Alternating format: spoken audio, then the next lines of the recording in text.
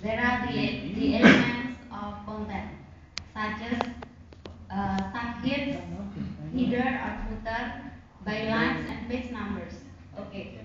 Subhead itself, uh, do you know the description? Okay. So subhead is uh, usually in the textbook, each chapter divided each chapter into smaller sections. So uh, sub, sub, subhead is the what smaller section of the of the chapter itself. So second, header or footer, uh, the meaning is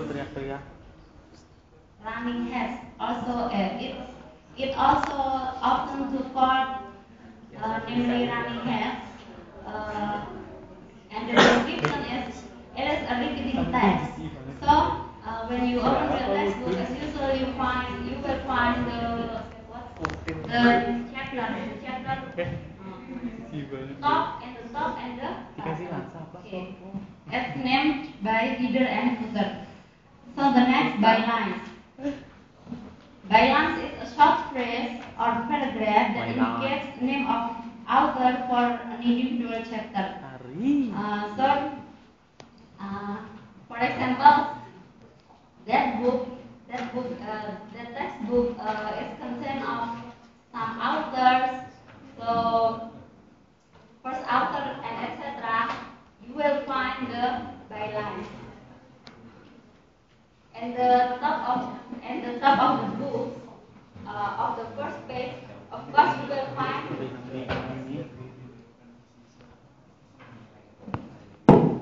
you will find the the title of the chapter. So before the start of chapter, uh, usually uh, you will find the bylines. It's a short a short phrase or paragraph. The next is number page. Page number, sorry.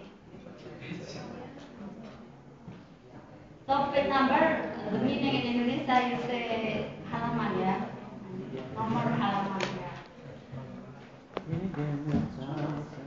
The next, conclusion.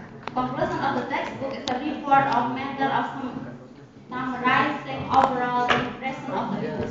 It should be the last paragraph in the report. So of course, in the good textbook you will find the conclusion. The next, the next element is glossary. A glossary by definition is an alphabetical list of technical terms and some special, specialized field of knowledge. A glossary provides the definition for those terms. A glossary uses one to quickly find the definition of a technical term. Commonly find a glossary in the appendix of many textbooks by Berries 2001. So of course, uh,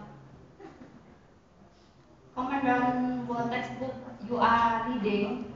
Uh, each textbook, of course, a good textbook, of course, in, in the last in the last page you will find the glossary. And if you find it difficult for for certain words, you can look at the glossary. Glossary. Next element is bibliography. Bibliography is meaning a list of books and articles consulted appearing at the end, the end of a book or other text. A list of books and articles on a subject, a list of the books and articles written by a specific author or issued by a specific publisher. Okay, the, the other name of bibliography is reference. Of course, you have understand that, okay? Yes. Name of the book and where the source. 7 tahun. Yang tak bayar. Sama The next film element is index. Ini film bikin Index of terbang. the book is the alphabetical listing of titles with the corresponding pages which locates them efficiently. An index is an optional but highly desirable element for non-fiction books. The index is placed at the end of the book and lists all the major the, ma- the major references the major, major references in the book Mayor Mayor topics mentions of key people in the book, etc. And there is specific corres- corresponding page numbers. Have you known that? No. So it's the alphabetical listing of titles, okay? By A, B, C, D. First class A, etc. Okay. So as you read the textbook, there are a number of elements in the textbooks, namely cover page, acknowledgement, for- forward of request, table content, intro- introduction, content, conclusion, glossary reference, and index. By the element, for example, seeing the, uh, the table content, we can know exactly what the book is, what the book is before we thought we read it all.